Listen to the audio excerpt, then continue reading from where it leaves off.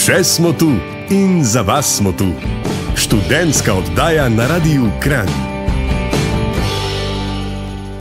Lepi ljudje, mulci so na cesti, tako malo mlajši kot tisti večji. Dijaki se bodo spet začeli ljubčkati po šolskih hodnikih, učenci višjih razredov osnovne šole bodo pogosto slišali besedno zvezo nacionalni preizkus znanja, prvošolce pa lahko vidimo že z Marsa zaradi fluorescentnih rudk. Eh, Seveda pa se bodo zgodili tudi spontani dogodki in prepetljaji, in verjamem, da ima vsak od vas, cenjeni poslušalci, morje dobrih zgodb, ki se dogajajo, ki so se zgodili v prostorih vzgojno-izobraževalnih ustanov.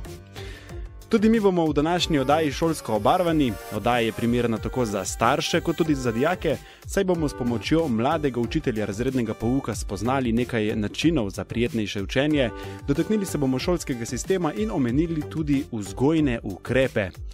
Katere ukrepe točno poznamo in kateri so dobri, to nam bo povedal današnji gost Miha Klajnšček, ki je magistriral na temo otrokovo dojemanje vzgojnih ukrepov svojih staršev.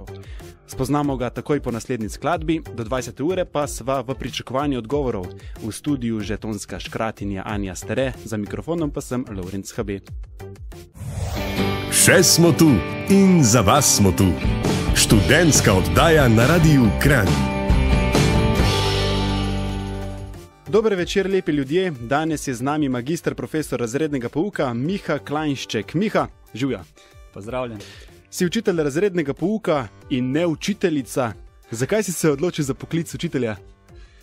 E, najbolj zato, ker je vse stranski, zato ker res zahteva ne samo znanje, ampak celo osebnost od tebe. To je življenje, to je poslanstvo, to ni samo služba, poklic, ampak res um, vsega se moraš dati noter in to mi predstavlja tak uh, svoj vrsten izziv, uh, katerega se z veseljem lotim vsak dan zapored. Mhm. Ja, živimo v času, ne, ko, uh, v bistvu, ko bi radi vsi imeli 8-urne delovnike in delali od 8 pa do 4 ali pa od 7 pa do 3, a ne, in kar je več, uh, nam ni dobro, ne, ampak učitelj je pa ravno obratno. Učitelj je ravno obratno. Ja. Uh, predvsem, kar uh, drugi pozabljajo, pa kar se ne vidi, je to delo na sebi. Zato, ker v šoli tudi vzgajamo, ne, šolsk, vz- vzgojno-izobraževalni sistem in vzgajamo tudi svoje osebnosti. Se pravi, s tem, ko delam jaz na svoji osebnosti, delam hkrati za službo, za poklic učitelja, tako da praktično 24 ur na dan. Učitelj v bistvu ne more stagnirati.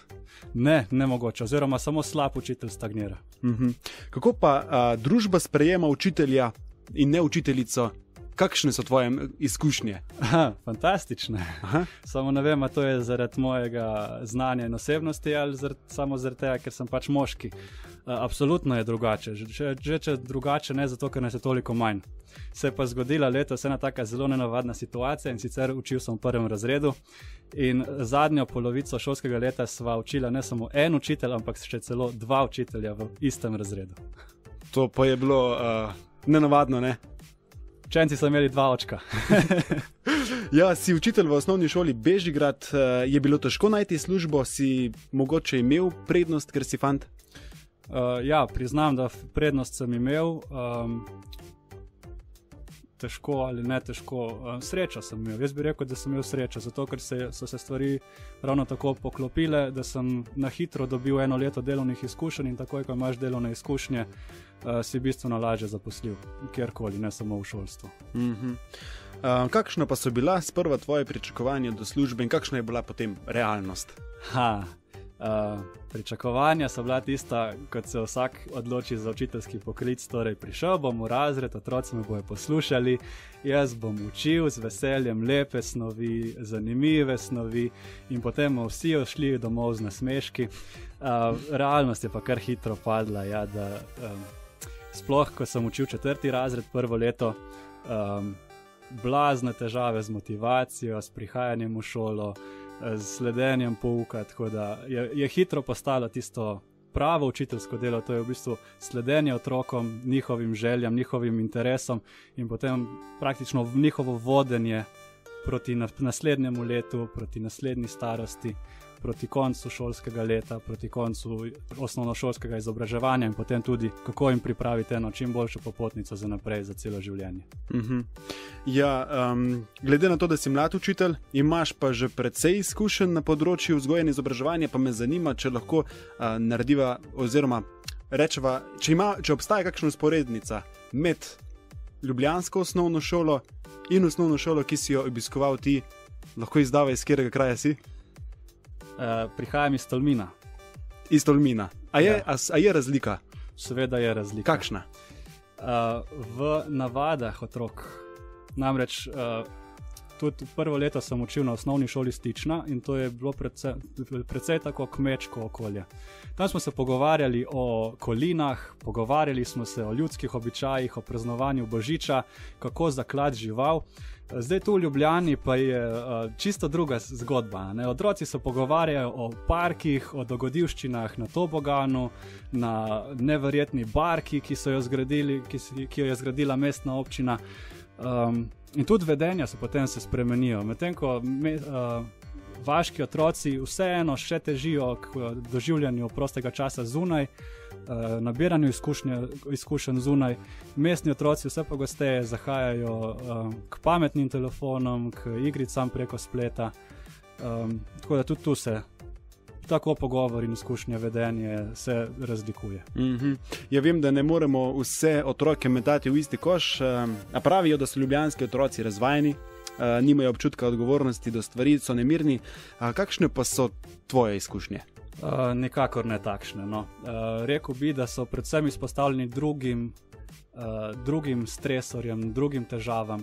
Medtem ko se recimo uh, vaški otroci skrbijo predvsem na to, kako bodo odreagirali njihovi starši, so ljubljanski otroci pod velikim pritiskom, kje se lahko varno igrajo, kje se sploh lahko igrajo. Tako da ta brezskrbnost je zelo um, pod pritiskom teh meščanskih otrok, ne, ki je recimo vaški ne poznajo. Eh, Po drugi strani pa so ljubljanski otroci, oziroma meščanski otroci, v povprečju bolje materialno preskrbljeni um, v primerjavi z uh, vaškimi. Tako da malo se je razlika v domišljiji, ampak kar se pa razvajenosti tiče, pa popolnoma nič. Mm -hmm. Zanimivo. Ja, magistriral si na temo otrokovo dojemanje vzgojnih ukrepov svojih staršev. Pa če greva pred skladbo še k teoriji, katere vzgojne ukrepe poznamo? Ha, na splošno se moramo najprej zavedati, če- kaj želimo doseči. Ne, kaj je naš namen? A želimo nekaj ustaviti, a želimo nekaj spodbuditi, a hočemo neko novo vedenje naučiti. In potem na podlagi tega poznamo potem različne vzgojne ukrepe. Recimo, prav konkretno, če greva, um, imamo enega otroka, ki razbija po mizi, mi hočemo, da to neha, imamo potem ukrepe, uh, ki so različno invazivni v otrokovo vedenje, z besedami, z fizičnim posegom, recimo najbolj klasična dva, da to vedenje ustavimo. Potem pa se moramo vprašati, okay, a, a želimo, da se to ponovi ali da se ne ponovi. Če želimo, da se ne ponovi, moramo spet iskati vzrok tega dejanja. Ne. In potem pač tu ven potem spet izhaja sedem različnih postopkov, kako, kako se s tem spoprijemati na najbolj učinkovit način, tako da tudi starši najmanj časa porabimo. Zdaj na tej točki naj podarim, da ni toliko zelo znanja, kot se zdaj trenutno sliši. a Ne? Samo ne morem tega podati v petih minutah. Uh -huh. Je pa absolutno možno to, če se starši sploh, če se zagrejo v roku enih, recimo enega tedna, se da to komot usvojiti. Odlično, en štikel, potem pa bova dala nekaj namigov po predlogu. Velja. Ostanite z nami. Še smo tu in za vas smo tu. Študentska oddaja na Radiu Kran. Lep pozdrav, lepi ljudje. Lorenz Habe vam delam družbo, z mano pa je magistr, profesor razrednega pouka, po domači učitelj Miha Klajnšček. Miha, prej sva že omenjala vzgojne ukrepe, iz katerih si magistriral. Kako si se lotil raziskovanja otrokovega dojemanja vzgojnih ukrepov njihovih staršev? No, najprej naj povem, da do sedaj, če beremo ene vzgojne priročnike, da gremo recimo v knjižnico, pa si sposodimo en vzgojni priročnik. Uh -huh. V njem bomo brali predvsem to, kaj naj starši vzgojitelji naredijo, da bojo otroke dobro vzgojili. ne. Noben pa nam ne pove, da je v bistvu otrok tisti, ki se spremenja. Se pravi, otrok bo tisti, ki bo zamenjal vedenje, otrok bo tisti, ki se bo tekom vzgoje spremenil. Se pravi, ni toliko pomembno, kaj vzgojitelj naredi, pomembno je, kako otrok to doživi. Se pravi, če jaz rečem, recimo, um, vsi poznamo verbalno kaznovanje. Ne? Recimo, to pač nekdo pride do tebe, pa ti pove, to pa ni v redu, mogoče kaj zakriči, mogoče kaj zakovne. Um, če bi to vse prevedli v eno tuji jezik, ki ga otrok ne razume, naprimer francoščino, to ne bi popolnoma nič delovalo. Ne? Čeprav bi bil te, teoretično čisto korektno izveden. Vzgojni ukrep. Se pravi, važno je, kaj otrok sliši, kaj otrok vidi in kako on to sprocesira. Uh, potem iz tega naprej sem pa enostavno vprašal otroke, mhm. kako doživljajo svoje starše, seveda usmerjeno, ne z usmerjenimi vprašanji, kako doživljajo svoje starše, kaj lažje vpliva na njihovo vedenje in kaj težje vpliva na njihovo vedenje. In z tega smo dobili uh, nekaj zelo zanimivih uh, informacij, predvsem glede uh, načinov kaznovanja in nagrajevanja, kjer se je izkazalo, da je dejansko otrok tisti, se pravi, kar otroka onesrečuje, mu predstavlja kazen, in kar otroka osrečuje, mu predstavlja nagrado. Uh mhm. -huh. V bistvu sliši se precej enostavno, ampak kako pa si recimo ti dojel, kateri ukrepi so za otroka v redu, kateri ne? Ali so mogli starši kaznovati nekega otroka, da se je potem analiziralo, kako uh, je praktično Uh, vse je potekalo na podlagi preteklih izkušenj otrok. Se pravi, Aha. jaz sem stopil do otroka in ga vprašal, a te, a te je oči ali pa mami v zadnjem času kaj kaznovala ali ne. Ponavadi je bil odgovor, ja. in potem sem vprašal, aha, no, kako pa te je kaznoval? Ja. In potem so bili odgovori, eh, predvsem te, ki jih poznamo iz vzgojnih priročnikov. Je se je pogovoril z mano, je kričal na me, me je poslal v sobo, da, se, da malo premislim svoje dejanje. Mhm. Bil sem nekaj časa brez računalnika, brez telefona. In potem sem jih vprašal, v redu, um, kako učinkovita se ti je pa zdela ta kazen, oziroma koliko je zdaj verjetno, da na podlagi tega ne boš več ponovil uh mhm. -huh. vedenja. In potem so rekli, ja, pri telih malo bolj, pri telih malo manj. Pač odvisno od posameznega otroka, koliko mu posamezna stvar pomeni. Ja, so otroci sposobni samo refleksije? Absolutno. Absolutno, omejeni so zgolj svojo časovno predstavo, to se pravi, koliko časa nazaj se spominjajo dogodke, koliko časa za njih je relevantno. Uh mhm. Zdaj, tu, če pomislimo na enega prvošolca, šest let starega, je to približno en teden nazaj. To je za njih tista realnost, v kateri živijo, en teden nazaj, en teden naprej. Uh -huh. um, malo starejši otroci, recimo jaz sem sprašval najmlajše 10 let, uh -huh. oni se spominjajo tam približno 14 dni nazaj, pa 14 dni naprej. Zanimivo. In uh, do kakšnih rezultatov si prišel? Kaj je tiste, ali je mogoče vsak otrok tukaj individuum ali lahko pač povemo neko splošno načelo. Uh, vsak otrok je individuum, uh, glede na njihove izkušnje. Glede na njihove izkušnje, ki jih imajo, se potem zgradi ta njihova percepcija, kaj je dobro, kaj je slabo, kaj jih osrečuje in kaj jih onesrečuje. Ne? In potem na podlagi tega imamo bolj učinkovite, pa manj učinkovite kazni. Ampak, recimo, zdaj no, je prišla tu taka zelo lepa posplošitev, ki jo lahko tudi danes vsi starši uporabijo. Ne? Tisto, kar otroku veliko pomeni, torej tistega, kar ima načeloma malo, tisto mu bo največ pomenilo. Torej, če mu vzamemo tisto, bo to najhujša kazen. In zdaj, kaj se je tudi danes zanimivega, um, zanimivega pokazalo. Uh, večina staršev, ko pomisli na kazen, reče: Ok, otroku bomo nekaj vzeli. Ali pa nagrada, ok, otroku bomo nekaj dali. Ne? Ampak živimo v svetu, kjer imamo dobre plače, kjer imamo dobre službe in smo dobro materialno preskrbljeni, in otroci imajo tega veliko, in v šoli, in doma.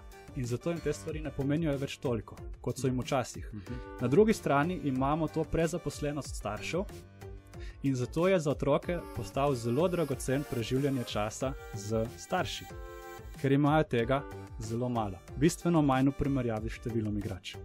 In zato je recimo velika nagrada, to se je izkazalo pač zaradi um, delovanja družbe, uh mhm. -huh. se je izkazalo, da preživljanje časa otroka in starša skupaj je največja nagrada, ki jo lahko starši podarimo svojim otrokom. Pa ni važno, za kakšno dejavnost gre. Tu so otroci odgovarjali, naprimer, skupni izleti, uh, skupen odhod v gostilno ali pa restauracijo, pa tudi bolj preprosti, naprimer, skupno kuhanje.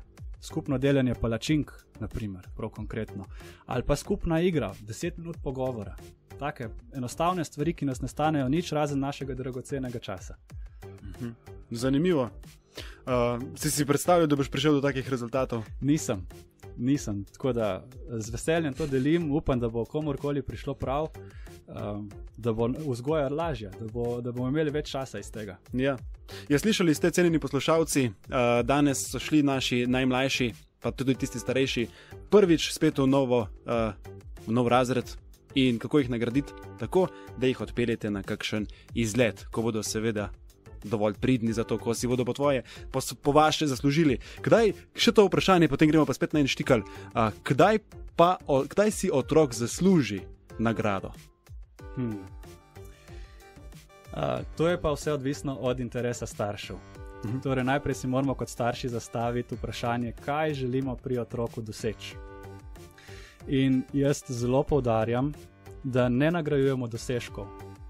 Zaradi tega, ker potem bo otrok stremel k dosežkom in ne bo vedel, kako jih doseči. Ampak nagrajujemo vedenje.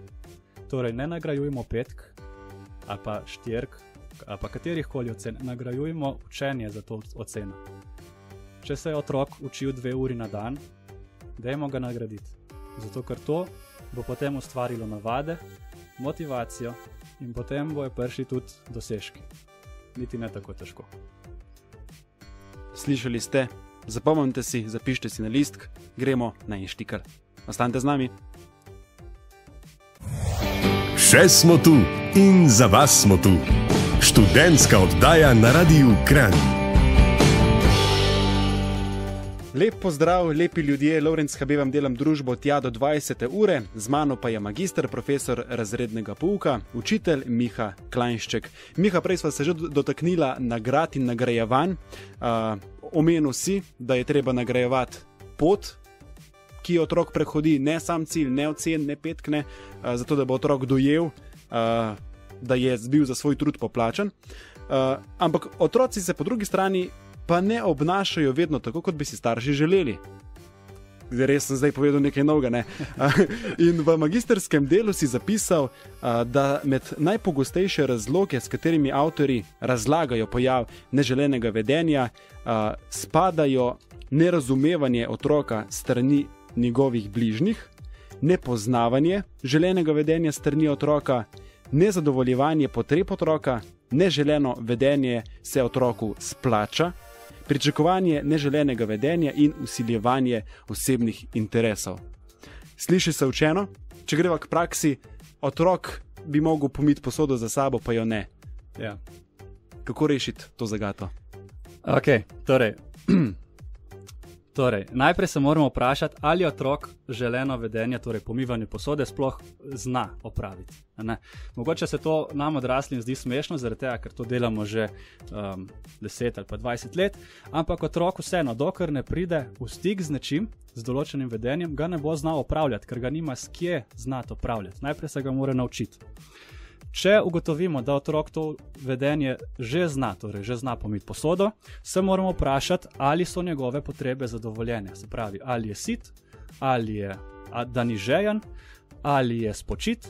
Zato, ker recimo, če jaz tebe pošljem ob desetih zvečer po službi pomivati posodo, se boš tudi verjetno kaj utrmil, pa kaj rekel mm, nazaj. Uh, potem, če ugotovimo, da so vse, do, uh, vse potrebe ustrezno zadovoljene, uh, se moramo vprašati, ali slišimo otroka, ali ga razumemo, kaj nam hoče povedati.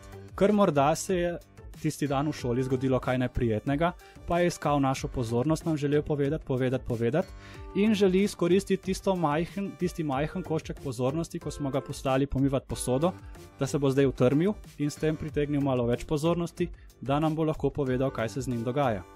Torej, ali razumemo otroka, ali ga slišimo. Uh, Če ugotovimo, da ni nič kaj takega, kar bi nam želel povedati, potem se moramo vprašati, ali verjamemo v otrokove sposobnosti. To je zdaj spet tako zelo um, banalno slišati, ampak mhm. -huh. zares se vprašajmo, ali verjamemo, da bo otrok uspel pomiti posodo. Ali samo čakamo tam pri mizi, tri metre stran, da bo nekaj zelo potalo in bomo skočili zraven. Kaj si pa zdaj naredil? Mhm. -huh. Zaradi tega, ker to bo v otroku zbijalo motivacijo. Tudi on se bo počutil nesposobnega in se bo bal spoprijeti tudi s takim zelo enostavnim uh, uh, opravilom, kot je pomivanje posode. Ja? Če ugotovimo, da je sposoben, da verjamemo v njega, da je sposoben, se moramo vprašati, sicer to ni toliko za tale to ni toliko za ta primer, ampak ali mu slučajno želimo usiliti kakšen naš interes. Mm -hmm. ne, to gre predvsem za kakšne športe. Recimo, yeah. Ja. jaz, jaz sem kot otrok si želel biti uh, umetnik, slikar, pa mm -hmm. me starši niso, pod, niso podpirali, zdaj pa želim za vsak denar, za, za vsako ceno prisiliti, sk skoraj da ne. No, uh, si zelo želim, da bi tudi moj otrok bil slikar. Pa mu mm. kupujem uh, slikarske pripomočke, platna, ne vem koliko denarja porabim mm -hmm. za to, mhm. ampak otrok tega noče. Ali smo opazili, da tega noče. Zdaj pri pomivanju posode, seveda, je hišno pravilo, mora se narediti, to so družinska pravila, družinske meje, torej to odpade. Potem se moramo vprašati, še, ali se neželeno vedenje otroku splača. To je pa tista zadnja točka, kjer pristanemo, če vse te uh, odpravimo. To, ko nam pride v kri, porabimo 3-4 sekunde. Uh, se vprašamo, ali se že- neželeno vedenje otroku splača. Uh, po domače povedano, mi naročimo otroku, da mora pomiti posodo, on uh, začne kričati, začne nemarno brisati posodo, kakšen krožnik morda kdaj razbije, in mi potem rečemo: Nehaj, ker ne delaš več škode kot koristi, pojdi v svojo sobo. Kaj je otrok s tem dosegel? Da mu ni treba pomiti posode. Otroci so odlični manipulatorji, pa ne za nalašč. Tudi odrasli samo stremimo k temu, da bi najlažje opravili nekaj. Ne? Najlažje za otroka, da pomije posodo, je tako, da se utrmi in če takrat starš poseže vmes, da bo on pomil posodo, poje dosegel svoj cilj. Ja, naj omenim, da so naše oddaje tudi v vaši najljubši aplikaciji za podkaste ali pa na YouTube kanalu, tako da si lahko tudi še enkrat poslušate vse te nasvete. In kot si rekel, ko jih enkrat osvojimo, v štirih sekundah znamo oceniti vse te kriterije, ki si jih pravkar naštel. Tako je, ja, in potem se lahko takoj posvetimo tistemu perečemu problemu. Mhm. Pa je poleg eh, vsega tega, mogoče tudi poleg pogovora, še kaj takega, kar lahko pripomore k temu, da, bo, da se bo otrok obnašal tako, kot si mi želimo. Absolutno. Mhm. V prvi vrsti je to naš zgled. Zato, ker otrok od nekje mora dobiti informacijo o, naše, o želenem vedenju, oziroma kakršnem koli vedenju. Mhm. Torej, če mi pridemo uh, iz službe utrujeni in se vržemo na kavč pred televizijo, kaj bo otrok z tega prejel? Da je najlažje, oziroma najbolj lepo, če se po opravljenem delu vržemo na kavč in gledamo televizijo. Mhm. On njemu ne bo padlo na pamet, da bo vzel knjigo pa jo bral. Razen če bomo mi, ko bomo prišli iz službe, ali pa kjer drugje, konc koncev, in odprli knjigo. Torej, najprej je naš zgled. V bistvu so otroci naše ogledalo. Ne? Tudi nekako, ampak je, ta, ta, ta rek je malo, bolj, malo preveč posplošen. Več poslušaj. Ja, absolutno. Okay. Ker zgled ni samo od staršev, je tudi od starih staršev, je tudi od bratov in sester. To, to da, nastane zanimiv uh, pojav, ko pridejo v hišo še en otrok. In potem se kar naenkrat mlajši zgleduje po starejšemu bratu. Ali pa ravno Ali pa obratno. obratno. Ali pa obratno. Naprimer, starejši mu kažemo, pojdi pospraviti igrače, on se bo vrgel na tla in jokal. Zakaj? Zato, ker je videl mlajšega, da to dela. In takrat mu ni bilo treba pospraviti igrače. Naprimer. Enostavno je to. E, Enostavno se sliši. Enostavno se sliši. Uh, Miha Klajnšček, učitelj uh, iz osnovne šole Bežigrad, je današnji gost. Zdaj gremo pa na eno lušno skladbo, potem pa se vrneva in omenila bova knjigo z naslovom, 11 stebrov vzgoje. ki bo išla prav k malu. Ostanite z nami. Še smo tu in za vas smo tu. Študentska oddaja na Radiu Kran. Dober večer, lepi ljudje. Lorenz HB sem z vami do 20. ure, z mano pa magister profesor razrednega pouka, učitelj Miha Klajnšček. Eh, Miha, povedala sva že nekaj nasvetov in napotkov za eh, starše, tudi za bodoče starše. Ne? Smo le študentska oddaja in eh, kdaj bodo ljudje delali otroke, če ne v času študija. Hecam se. Uh, uh, Miha, omenil si, da boš uh, izdal strokovno knjigo z naslovom 11 stebrov vzgoje. Uh, tako je, ta knjiga je tik pred tiskom uh, in v njej sem zajel vsa ta uh, teoretična izhodišča, ki sem jih spoznal tekom uh, raziskovanja v okviru magisterske naloge, diplomske naloge in potem še v prvih letih, štud, uh, v prvih letih zaposlitve na podlagi izkušenj, ki sem jih uh, pridobil. Mhm. Ja, kot se reče, je knjiga strokovna. Tako je, ja, omejena bo zgolj za strokovno publiko, torej uh, v prvi vrsti so to profesori na fakultetah. Uh, zakaj? Zato, ker si ne želim ponovitve. Uh, si ne želim ponovitve uh, tega, kar se je zgodilo s permisivno vzgojo. Namreč malo ljudi ve, da ta avtor permisivne vzgoje je izdal knjigo, ki je bila dobro zastavljena na začetku, potem pa so jo v roke dobili um, razno razni manj izobraženi in so izkoristili samo tiste dele, ki so jim bili všeč. tiste dele, ki so jim bili. Um, Ki so jim ustrezali. In na ta način se je potem ta celotna njegova teorija sfižila, popačila, in ne želim, da bi se to zgodilo tudi s to teorijo enajstih vzgojnih uh, stebrov, enajstih vzgojnih elementov. Uh -huh. uh, lahko pa povem na kratko, tako da um, zdaj v teh prihodnjem letu, recimo, pričakujem en tak uh, komentar, povratno informacijo strani te strokovne, izobražene um, publike. Uh -huh. Teorija pa zajema, uh, torej teorija temelji na enajstih elementih vzgoje. To so otrok, avtoriteta, medosebni odnos med otrokom in avtoriteto, učenje vedenja, vzgojni cilji, pravila vedenja, meje dovoljenega vedenja, želeno vedenje, neželeno vedenje, nagrajevanje in kaznovanje. V knjigi sem prevetril nekako in opredelil vsak element posebej, kaj je njegova naloga, da bi na ta način vse, ki se ukvarjajo z vzgojo, torej ne samo učitelje in vzgojitelje, ampak tudi starše in v prvi vrsti starše, uh -huh. Jih opremijo z vsem znanjem, ki ga potrebujejo za vzgajanje. Zato, ker vzgoja ni nek tok proces. Ne? Vsak otrok je individualen, se pravi, mora biti vsaka vzgoja individualna, ne more pa biti, če starši nimajo ustreznega znanja. Ne? In tudi, recimo, vzgojni priročniki ne bojo nikoli delovali tako dobro kot. Uh, taka, take bolj smernice, zato ker priročniki delujejo samo, če je ena stvar že vnaprej preverjena na istih, v istih okoliščinah, uh -huh. ne, kar pa vzgoja vsekakor ni. Če ne drugega, se, pre, se spremeni čas vzgajanja. Uh -huh. Ja, uh, knjiga je strokovna, zdaj v te, to, tekom enega leta bo strokovna javnost ocenila, oziroma ti dala še kakšne povratne informacije, potem pa boš uh, ti to knjigo s izkušnjami uh, približal staršem in vsem, ki vzgajajo. Tako je. Če se bo izkazala kot uh, dobra, kot kvalitetna, torej nekaj, kar je za uporabiti, bom to z veseljem delil v. Uh, poskušal doseči čim več staršev, zato ker jim želim čim bolj olajšati vzgojo. Jaz zaenkrat vidim, da pri sebi deluje, ampak še vedno nisem prepričan, ali je to samo zaradi moje osebnosti, ker tudi to je velik del vzgoje, ali dejansko zaradi tega znanja. Tako da, če se bo izkazalo kot učinkovito, jaz verjamem, da bo mnogim staršem uh, močno olajšalo vzgojo. Ok, jaz, če si želim imeti zdaj čez en mesec, čez dve mesece otroka, bom mal počakal še eno leto, ne, da pride knjiga ven, oziroma podcasti. Um, ja, upam, da ti uspe. Miha Klajnšček, cenjeni poslušalci, zapomnite se to ime, jaz verjamem, da bo prišla prav, če ne vam, pa vašim, mogoče vnukom, tetam, karkoli. Uh, pa še en komentar, bi te prosil, Miha. Um, včasih so učenci klečali na koruzi ali pa so dobili spalco po prstih in, ali pa po ta zadnji. No. Danes omenil si že permisivno vzgojo, danes so nedotakljivi. Kakšen je tvoj komentar?